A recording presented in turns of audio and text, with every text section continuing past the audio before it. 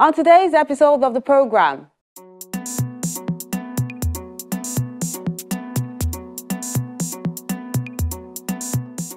we see the lines and forms of contemporary artist Shola Obaya.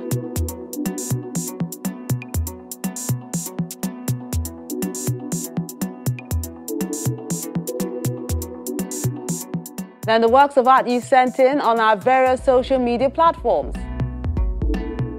We see that after our wordsmith for this week. A warm welcome to the show. I'm Melinda Akinlami.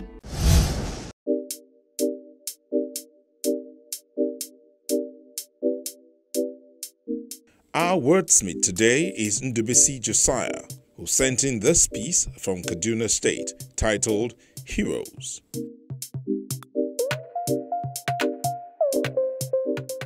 Avatars and Forerunners their steps encrypted as Lucy Beam's pillars, venerated by generations, unceasing, unmatched, as my heart seeks to find.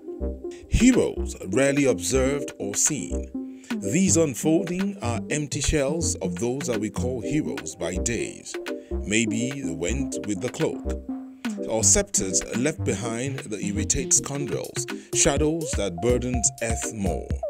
Heroes are rare, phantomed me, from my forest licking hot, weeping, enduring all my night, mourning untold gloom furiously sway, sapping all hope's reprieve of light. Abyss stares on vacant seats of heroes. Then reasoned inane heart that heroes subsist sand grains. All our heroes if right is done. A hero's smiles suffice. Be a stick of lightened candle Legends are fabric left of earth. Heroes be amongst little shines. Nice one, Ndubisi. That's one poet who is always catching my eye with his lines. Just like this contemporary artist who believes that forms is the basis for any artistic expression and lines convey the artist's feelings. He reveals just that at a solo show in Lagos, which took place before the COVID 19 pandemic.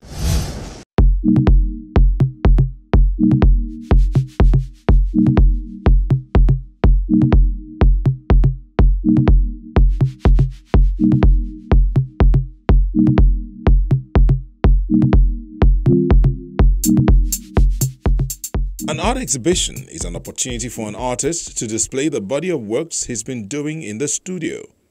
And when he decides to go solo, it's a rare platform to really put his idea and style out there for the audience to understand his artistic forms. That's what contemporary artist Olushola Obayan is doing with his lines and forms, which shows his unique technique.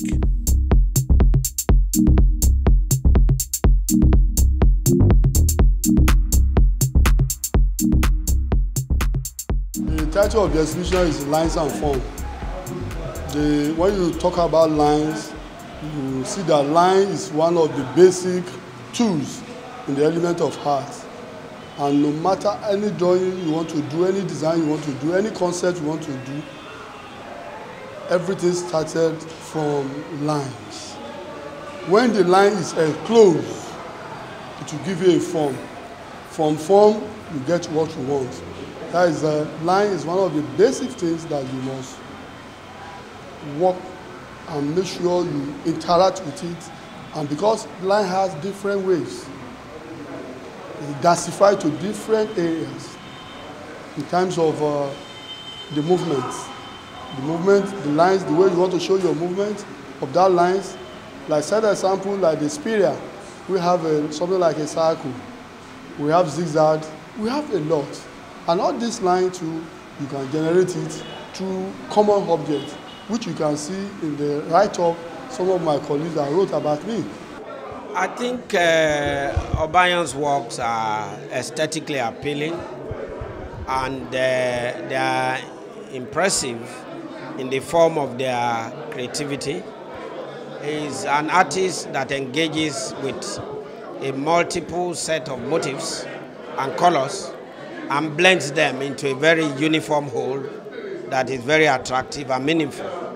In terms of the substance and content of his works, is reflecting the socio-cultural realities of Nigeria in a very positive sense. And uh, his works are very uh, pragmatic. Uh, they are full of textures, patterns of culture, and they represent what the, is happening in the society. So the artist is talking to everybody, is talking to the society, and is trying to show us what values that we should imbibe. He's inspired by two art movements popular in the western and eastern part of Nigeria, Ona, which began from a group of artists at the Obafemi Awolowo University, Ile-Ife, Osun State, to Uli, made popular by the University of Nigeria, Nsukka, in Enugu State.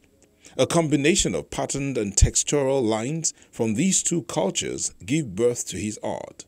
I have discovered that Obanya is, is being described as a crossbreed artist, someone who moves from the Ahmadu Bello University setting to OAU or University of Ife setting because of his adoption of the style that is known as Onaism. So it's called a neo-Ona artist. That is uh, the kind of uh, art that emphasizes colors, patterns, motifs, and that is reflective, is reflected in many of the work that we see here. On the whole, it's an impressive assemblage of works that will uh, make you, leave you awestruck as uh, either an art connoisseur or as a scholar. And as an individual, I must commend him for the excellence of the presentation. Quite some years back, I started this work from gouache colors, where we have a lot of assorted colors of gouache. And this color you are talking about, when you mix it, I mean self-mix, you will get a lot of vibrant colors. I love playing with colors. But later I discovered that uh, the gouache itself has similar to what we call acrylic now. And acrylic colors has a kind of uh, very powerful in terms of brightness and very sharp. Later I discovered that let me go for acrylic.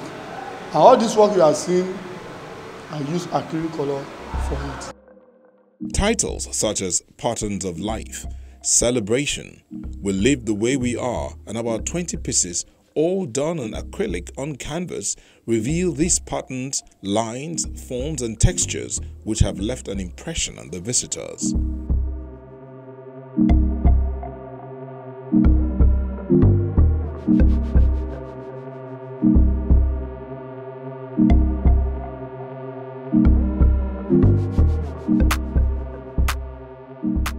This style of uh, of the of the artist is very interesting. It's full of patterns, it's full of textures, it's full of uh, lines, and they are all very enchanting. So the artist is uh, has come up with a style that is very unique, and the colors of the artist are very bright, and the walls here illuminate the hall. And what that means is that the artist makes use of vibrant colors, colors that help the audience to appreciate uh, his sense of choice of color, his sense of judgment, his creativity, and his dexterity. I personally, I learned a lot from Mr. Olushola Obayan, and I'm so happy that uh, he's coming out now, and this this exhibition is a testimony to what uh, the skill that he has. Um, I personally am so happy to see this exhibition to stage because it's been a long while that we, all of us, even the students, the colleagues in the school, we are waiting to see him exhibiting. And I hope that from here, he will be able to take it out and a lot of people will be able to see this. So this exhibition, as he tagged it, uh, Ila Ona, you know, honor from the, uh, the, expression of patterns. So the lines of expression, which has already shown in quite a number of the old works, you can see lines everywhere. So I'm so happy to see Mr. Obayan coming out I, I, I can, I can, I'm proud to say I'm a student because he actually imbibed a lot of knowledge into me. He's an artist who is um, maturing in his work. He's an artist who has been able to reflect, you know, many years of experience in his work. So I must say that I'm delighted at uh, the aesthetics that is embedded in all the works, the sweet use of color, the powerful use of lines, the unblemished uh, interplay of forms. I mean, the fact that most of the forms are actually lost in the lines, which of us, you know, which suggests the title of the show, is very ex exemplary. This contemporary artist has a Bachelor of Arts in Industrial Design from Ahmadu University, Zaria, Kaduna State, and a master's degree in Visual Arts from the Kwara State College of Education, with 25 years of art experience under his belt.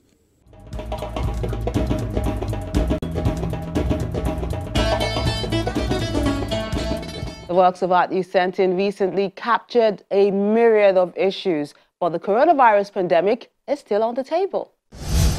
And these are the works of art that made the cut for this week.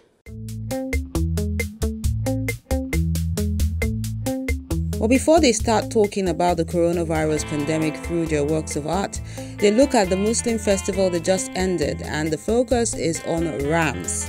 Now, let's start with this one called The One That Got Away. It's a watercolor and pen work.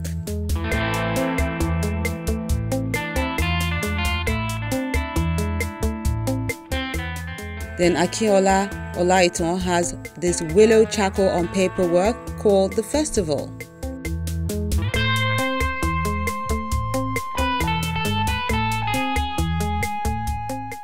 Then Alassane Joao remembers Durbar with his pastel on paperwork. It used to be one of the colorful ceremonies to look forward to during the Salah, but it couldn't take place, no thanks to COVID 19.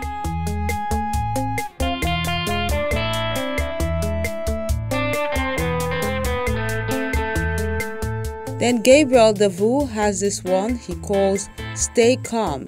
It's a biro on paperwork.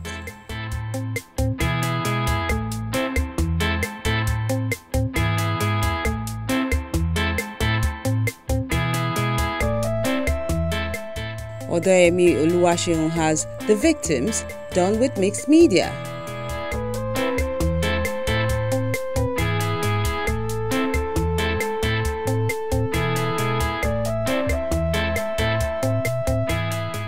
Then Game of Strength is a pastel on paper work done by Stephen Yinka.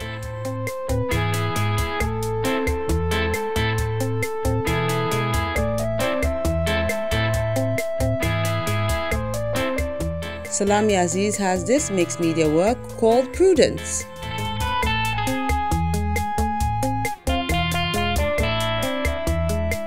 With all the artists talking about Rams, there's a deviation with this work called Never Easy is done with acrylic on canvas by Deluxy Chini.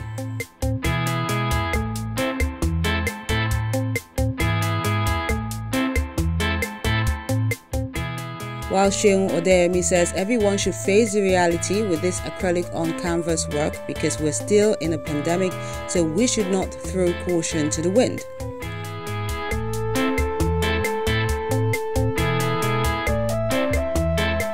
Then Joel wraps it up with staying home safe, a pastel on paper work. So he says if you don't have anything to do outside, stay home and stay safe.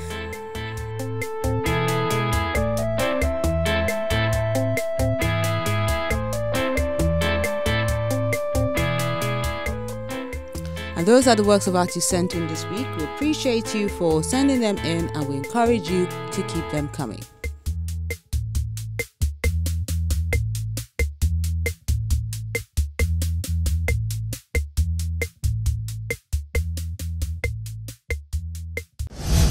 Lovely works there. Thank you for sending them in, and we'll take more in a moment, and that's when Art House returns. So do stay with us.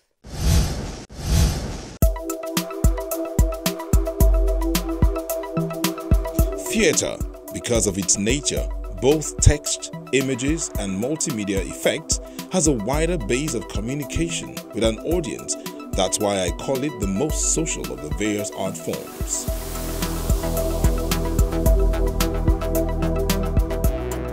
Weak people revenge, strong people forgive, intelligent people ignore.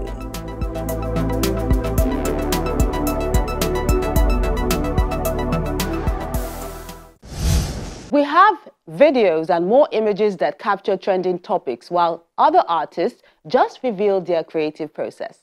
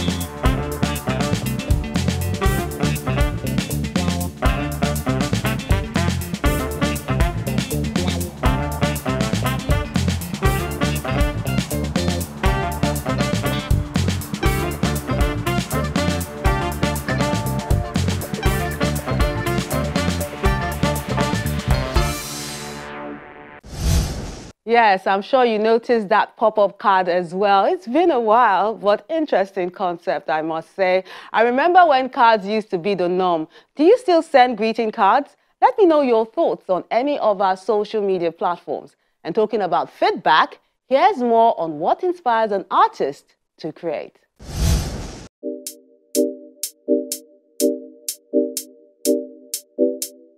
Dauda Yusuf. On who?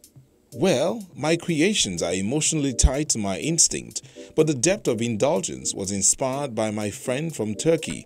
She even supported me financially to complete my program.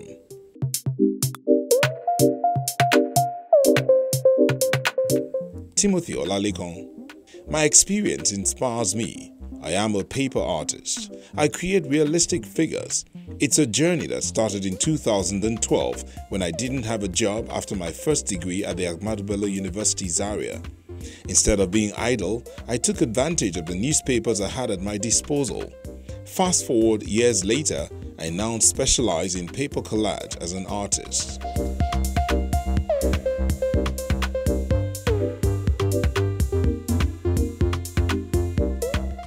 Ganiu Isa. First off, my dad, an artist, made me realize how good I could become if I studied art in school. Sometimes I'm unsure of what inspires me, but I'm usually drawn by something within me.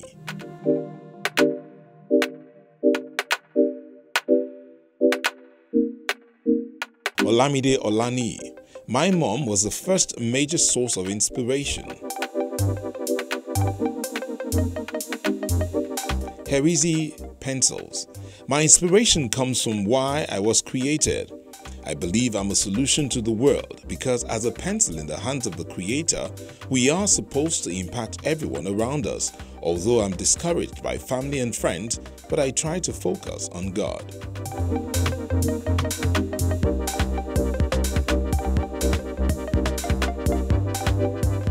Bello Adilani my inspiration began from childhood.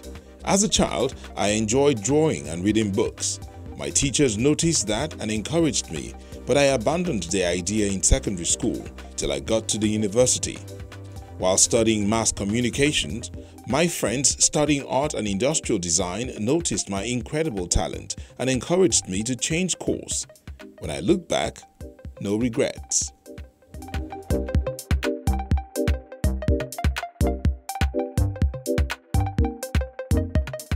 I knew I was born to be an artist, but my family never saw a future in that, so I bounced around doing what everyone thought was the best course for a bright future. Art still found me, and I created my own style of painting.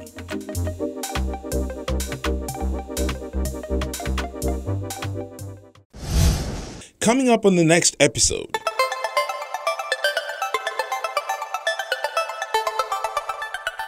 Female artists are their voices to the many others condemning sexual and gender based violence.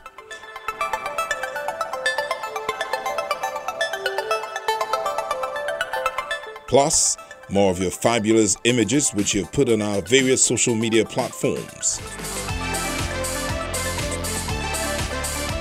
So you definitely wouldn't want to miss Art House.